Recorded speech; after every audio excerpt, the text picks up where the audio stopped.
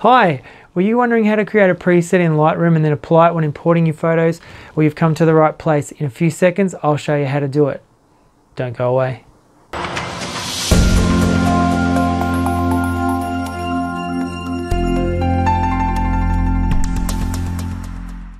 Hi, Barry Callister for Barry Callister Photography, giving you hints, tips and tricks for better nature photography.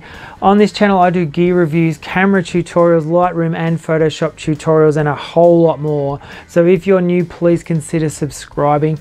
Make sure that you check out my how to import photos into Lightroom CC tutorial as this video relates to that one. So if you haven't seen that, check that out. I will link to that in the cards on the top right hand corner of the video here today. So let's get started on how to create a preset in Lightroom and apply it to your photos when importing them. So here we are in Lightroom. This, uh, make sure you're in the develop module. We're going to start in the develop module for this tutorial.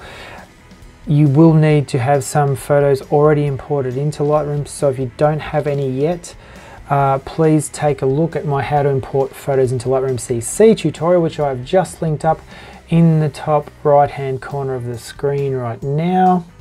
So take a look at that and then come back. If you've already got some photos imported, let's get started. Now in my how to import photos into Lightroom CC tutorial, I said that I just do lens corrections on import. Um, so this is the section here that I do. I saved a preset, a developed preset with just this lens corrections one here, but for this photo here today, we'll do a little bit more than that because I've already saved my lens corrections one and I don't really want to muck it up. So we'll do a little bit of a basic adjustment here. Let's say, we'll come to actually we'll come down here to camera calibration. Uh, lately, I like to set the profile here to either camera neutral or camera standard. Um, standard is kind of nice. It just depends on the look of the photograph. Sometimes it works with standard, sometimes neutral, sometimes Adobe standard is fine. But for today, let's set it for camera standard. And we won't play with any of those other sliders, we'll just do that.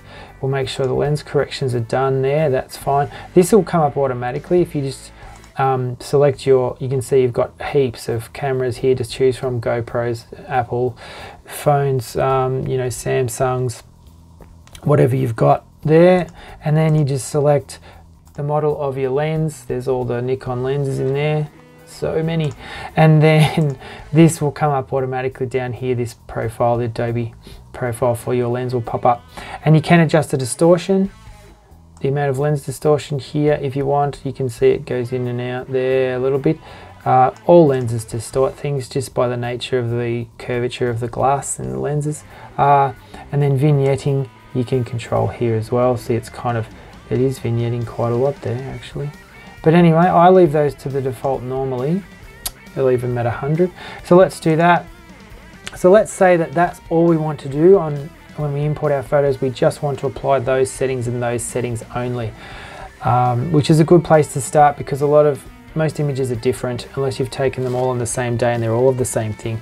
They're going to look different. They're going to have you know darker shadows or more blown, more brighter highlights or you know just different colors and everything. So just a basic development setting like this is really good to do. Now what we need to do now is come over here to our presets on the left hand side.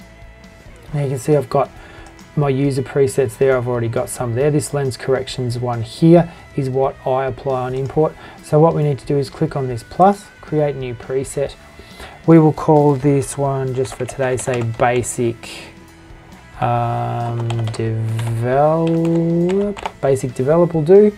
We're going to save it in the user presets folder. You can choose to make a new folder and call it whatever you like there.